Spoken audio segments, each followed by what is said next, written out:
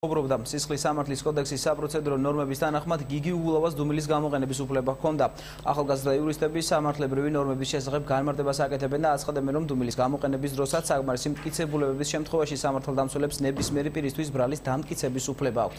იურისტები განმარტავენ, რომ პროკურატურას მერის უფლებამოსილების შეჩერების უფლება აქვს და ასეთ შემთხვევაში უწყება შუამდგომლობით სასამართლოს უნდა მიმართოს.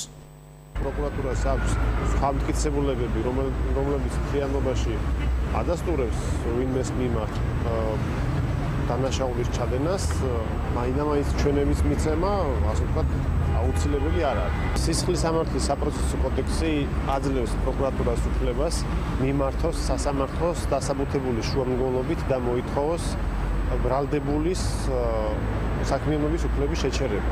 გამოიყენებს თუ არა ამ უფლებას პროკურატურა ან გამოყენების შემთხვევაში დაკმაყოფილდება თუ არა სასამართლოს მიერ პროკურატურის შეშუალება ამას ვიჩვენებს მოვალე